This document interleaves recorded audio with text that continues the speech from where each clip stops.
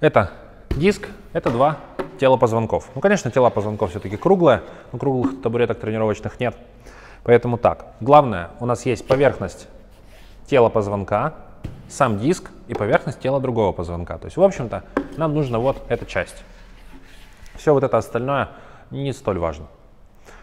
Проблема в чем? Проблема в том, что информации на эту тему очень мало, и она очень противоречива. Но, в принципе, есть два лагеря. Есть те, которые говорят, что грыжа зло, ее надо резать, с нейрохирургами во главе. А есть другие люди, которые говорят, ребята, грыжа здесь вообще ни при чем, вообще, что вы докопались до бедного межпозвонкового диска, он работает как может. Ну, в этом лагере много мануальных терапевтов, ну и я среди них. И чтобы было это как-то аргументировано, начнем с вопроса. То есть что беспокоит человека вообще, который пришел к неврологу, к нейрохирургу, ну куда угодно, в общем, со спиной он пришел. Его беспокоит, как правило, боль, нарушение подвижности, невозможность в статичной позе находиться, то есть тяжело сидеть, болит спина. И невозможно наклоняться, опять болит спина. И вообще она всегда болит.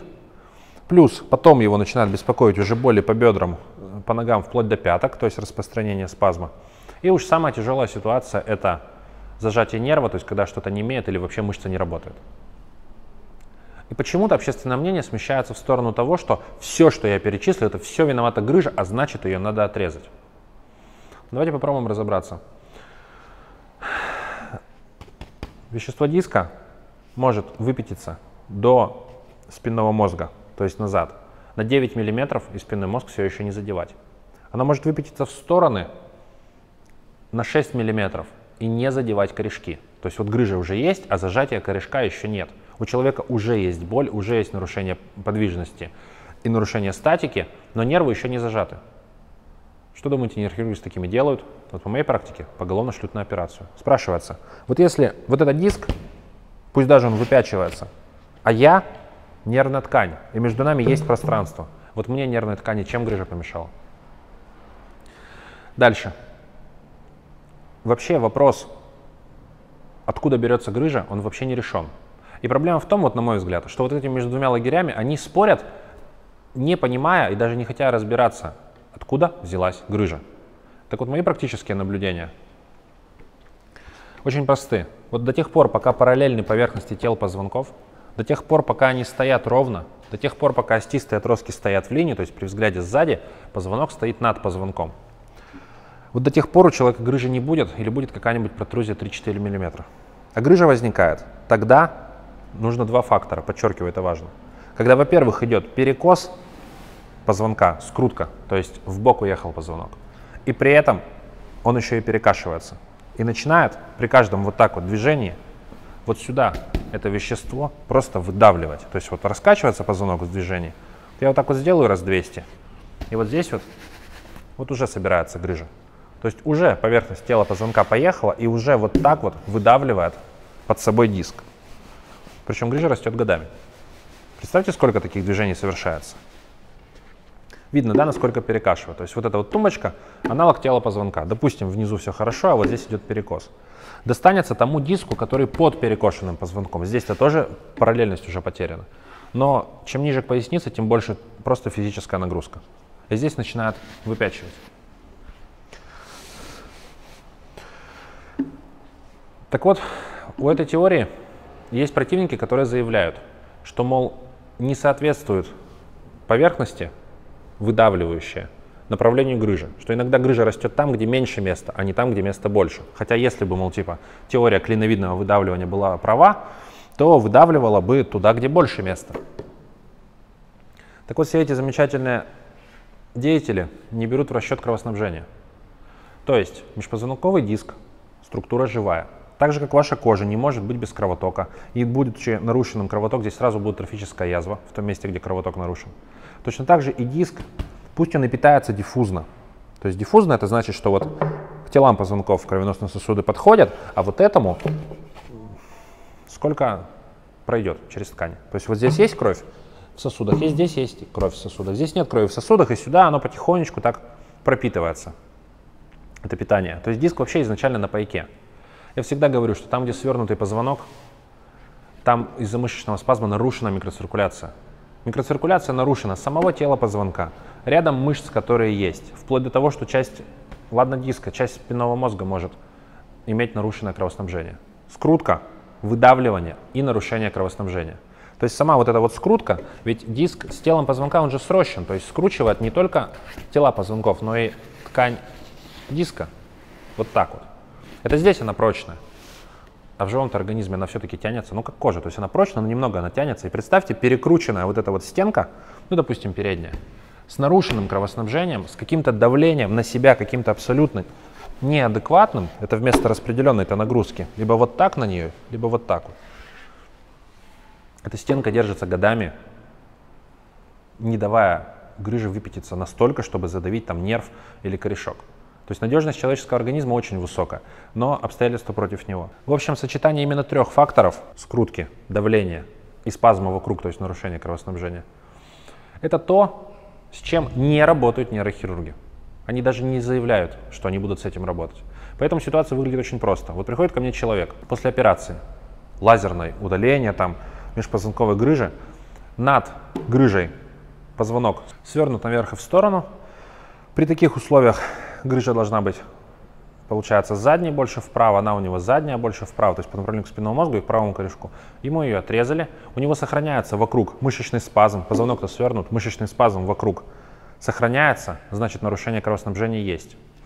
Из-за свернутого позвонка он также не может стоять, ходить, ну столько, сколько бы ему хотелось. Единственное, чего у него ушло, это непосредственно поджатие правого корешка, то есть у него не менее прошло на ноге. Все. Вот с этого, кстати, начиналось развитие нейрохирургии с точки зрения удаления грыжи. Грыжу оперировали тогда, когда она конкретно задавливала нерв в канале. И я согласен, там нет другого выхода. Все, ну разваливаться диск. Только отрезать, и чтобы, не дай бог, весь не развалился. А вот во всех остальных случаях нейрохирурги чем пытаются заниматься? Большой открытый вопрос. Ну так вот, когда он лежал на столе, в принципе, можно было вправлять этот позвонок двумя пальцами. Там даже особо не нужно давить. Мы ему поставили, к вопросу, работаю ли я с грыжами. Конечно, работаю. Мы ему поставили позвонок, там, ну, больших манипуляций нельзя было, аккуратно разблокировали крестец и вот этот. Я говорю, слушай, недавно у тебя этот рубец, кровоснабжение нарушено, ты сейчас идешь, занимаешься, туда подаешь кровоток, оно рубцуется все, тебе уже будет полегче, потом направку дальше придешь. Понял? Понял. Все, он уходит. Через какое-то время приходит, я говорю, ну как? Он такой, вообще нормально. И вдруг до человека доходит, слушай, говорит, о чем, мол, типа, так все печально, я мог вообще не попадать на операцию. Я говорю, ну ты понимаешь, с моей точки зрения, тебе там особо нечего делать. Потому что если грыжа еще не очень большая, если она конкретно вот не вдавила нерв, если она только его еще поддавливает, то есть не менее не 24 на 7, а не менее, если оно приходящее, пришло, ушло, пришло, ушло, то выравнивая положение позвонка, мы снимаем давление на этот участок, и грыжа, нет, она не уходит но если там есть хотя бы полмиллиметровый запас, она нерв больше не трогает. Усиленный кровоток позволяет ей укрепляться в стенке, она перестает расти дальше. Плюс, ну, выровненный позвоночник, то есть вот эта вот вся диффузия, вся она нормально протекает. Ремонт всех тканей происходит, и диска тоже. Нет у меня данных насчет того, будет ли она подвергаться обратной резорбции, но практика четко показывает, она перестает дальше расти, симптоматика уходит, люди об этом больше не думают. Собственно, не только моя практика, но почти всех мануальных терапевтов из тех, кто работает достаточно аккуратно. У костоправов там свои техники. Верить во все это или нет? Ну, прицепиться своим вниманием можно к чему угодно, начиная с того, что я вещаю все это без халата, заканчивая тем, кто я такой, где-то там на видеохостинге смотрю что-то видео. Но это практика. И вот этим вот вещам всегда были и есть подтверждения. Но другое дело, то, что больших научных исследований на эту тему не случилось, и вряд ли случится. Ну, кому это выгодно? Нейрохирургам, которые более дорогое оборудование покупают с каждым разом. Или тем деятелям, которые считают, что если мы отрезали грыжу, то теперь человек пойдет работать, а у него как была боль и невозможность наклониться, так и, и остается. То есть что толку, не вернули трудоспособность операции. Вопрос очень сложный, поэтому я предлагаю каждому решать самому, проверять на себе, общаться с теми, кому вы доверяете. В крайнем случае всегда будет ваш опыт. То есть, что бы я ни сказал, чтобы кто угодно другой не сказал, если вы это смотрите и это относится к вам, то ваш опыт поставит точку в любом споре. Но я хотел бы примирить враждующие лагеря очень простым образом, в принципе, так, как это было еще лет 10 назад. Нейрохирурги оперировали тогда, когда оперировать необходимо, то есть когда нерв конкретно задавлен, когда диск конкретно разрушен. В остальных случаях применялись консервативные методики – вытяжение, мануальная терапия, ЛФК. Вытяжка подготовка, сама по себе манипуляция, ЛФК для закрепления. На каком уровне находится современная ЛФК, комментировать не буду. Своим я рекомендую только те упражнения, которые показываю я лично, и то только те из всего показанного, что им нужны на конкретный момент. В общий ЛФК не отправляю никого, думаю, отправлять не буду. Там тоже все не, не так просто. Но схема лечения, если не оперативная, то выглядит очень просто. Ну, выглядит. Она непростая, но не такая и сложная. Выровнять положение позвонка. Кстати, на диск, кто бы ни говорил, на диск напрямую воздействовать невозможно. Невозможно заправить грыжу, потому что давление здесь больше атмосферного. Можно только поправить позвонок. И через него, потому что они все срощены, немного воздействует на диск. Ну, в общем, выровняли позвонок, не только тот, который как будто причиной, но все позвонки. Мы их выровняли. Дальше человек должен заниматься, ну, мужчина, женщина, упражнениями для, чтобы туда шел кровоток, активировать микроциркуляцию, активировать общую циркуляцию крови. И выравнивать вокруг мышечный тонус, потому что спазм остается даже после правки.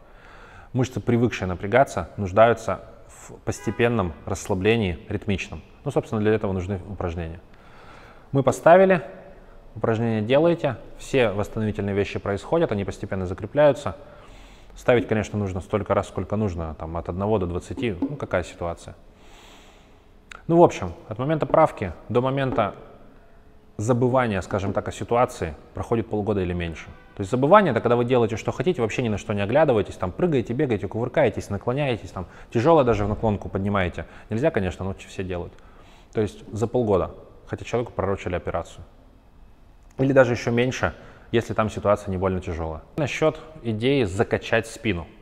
Я вообще не знаю, откуда взялась эта идея, но мне кажется, что с подачи Бубновского – так вот, Бубновский, он сам мануальный терапевт. И он-то прекрасно понимает, что нужно сначала все выставить, и только потом что-то пытаться закрепить, то есть закачивать, а без манипуляций закачать. Ну вы представляете, позвонок стоит криво, вот так вот все выдавлено, вот здесь все пережато, вот здесь боль. Вы что хотите закачкой мышцы сделать? Чтобы это еще, еще со всей силы спрессовало? Ну так, тогда бы те, кто разгружает вагон, они были бы самыми здоровыми. Закачали же спину.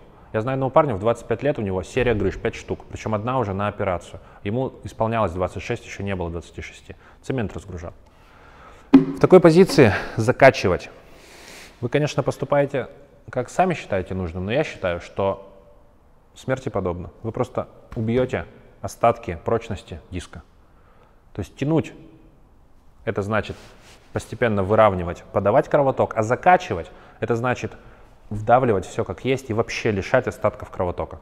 И тогда бы вы, допустим, к нейрохирургу попали в 40, а так можете попасть в 30. Это достаточно серьезные вещи.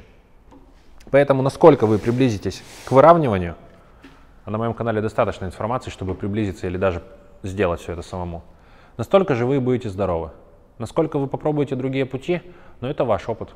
И часто еще спрашивают, что делать самому. То есть, допустим, на МРТ выявили грыжу, позвонок вроде бы как бы понятно, что свернут, посмотрели там диагностику позвоночника видео, то есть понятно, что свернут, что делать? Ну там, допустим, нет мануальных терапевтов или кто есть, вы им не доверяете. Ну что делать? Тянуть. То есть если вы не можете поправить руками специалиста по какой-то причине, и вы не рискуете трогать сами, а если грыжа больше 6 мм, я бы не предлагал самоправки. Просто так. Или очень аккуратно. Ну так вот, что остается делать? Остается просто тянуть. То есть тянуть, тянуть, тянуть, чтобы постепенно расстояние между позвонками увеличивалось, вот так вот легонечко.